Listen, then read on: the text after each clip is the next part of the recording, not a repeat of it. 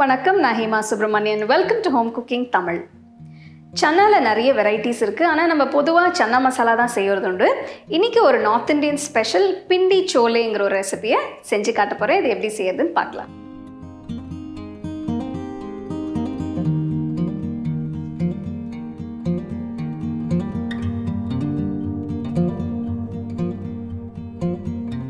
பிண்டி சோலை செய்யறதுக்கு ஒரு கப் கொண்டக்கடலை தண்ணி ஊற்றி ஆறு மணி நேரம் ஊற வைக்கணும். ஊற வச்ச கொண்டக்கடலையை ப்ரெஷர் குக்கரில் மாற்றி தேவையான அளவு தண்ணியை ஊற்றி ஒரு நாலஞ்சு விசிலுக்கு மீடியம் ஃப்ளேமில் வச்சு ப்ரெஷர் குக் பண்ணணும்.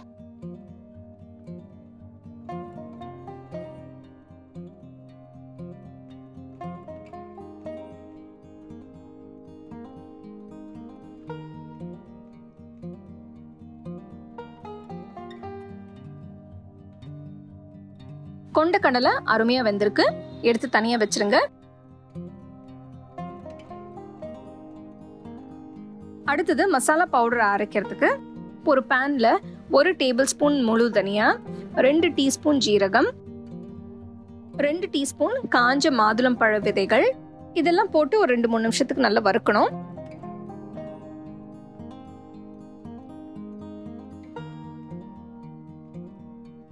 வறுத்த பிறகு ஆற விட்டு மிக்சி ஜாரில் மாத்தி நல்ல பவுடரா அரைச்சு வச்சுக்கோங்க.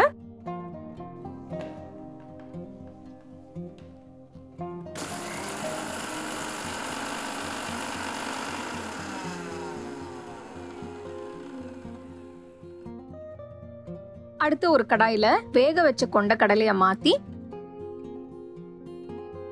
இதுல ஒரு டீஸ்பூன் உப்பு கால் டீஸ்பூன் மஞ்சத்தூள் ஒரு டீஸ்பூன் காஷ்மீரி மிளகாய் தூள் அரைச்ச மசாலா தூள் ரெண்டு டீஸ்பூன் அரை டீஸ்பூன் கரம் மசாலா தூள் ஒரு டீஸ்பூன் ஆம்ச்சூர் தூள் அதாவது ட்ரை மேங்கோ பவுடர் கொஞ்சம் மிளகு பொடி. இதெல்லாம் போட்டு நல்லா மிக்ஸ் பண்ணணும்.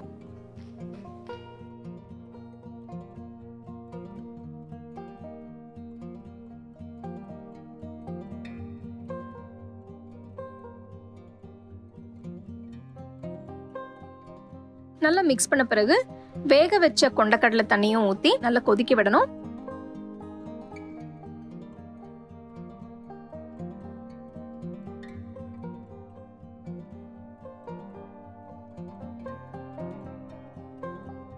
பத்து நிமிஷம் கழிச்சு பார்த்தோம்னா மசாலா நல்லா திக்கா இருக்கு. இப்போ ஸ்டவ் ஆஃப் பண்ணிட்டு இறக்கி வச்சிருங்க.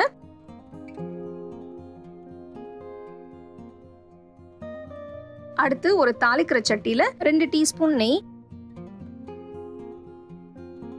ஒரு டீஸ்பூன் எண்ணெயை ஊற்றி இதில் அரை டீஸ்பூன் ஜீரகம்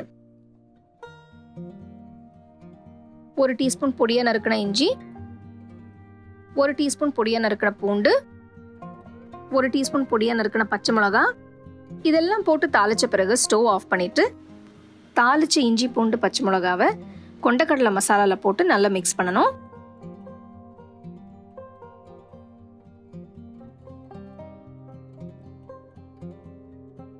கடைசியில கொஞ்சம் பொடியை நறுக்கின கொத்தமல்லி போட்டு நல்லா மிக்ஸ் பண்ணிட்டு இறக்கிடுங்க.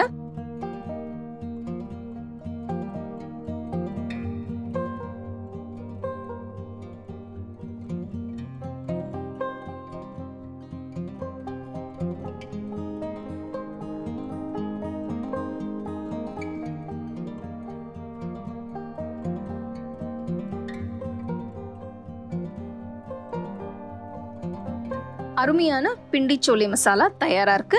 சூடா சர்வ் பண்ணுங்க.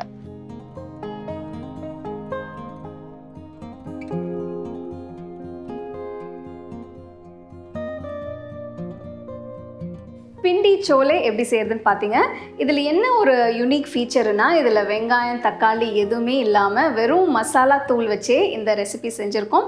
ரொம்ப குயிக்காக செய்யக்கூடிய ஒரு ரெசிபி ரொம்ப டேஸ்டியாக இருக்கும். இது நீங்கள் பூரி சப்பாத்திக்கு தொட்டு சாப்பிட்லாம். ரொம்ப அருமையாக இருக்கும். ஸோ கண்டிப்பாக இது நீங்கள் வீட்டில் ட்ரை பண்ணி பாருங்கள் You can get a copy of our first edition of the home cooking book on 21 Frames.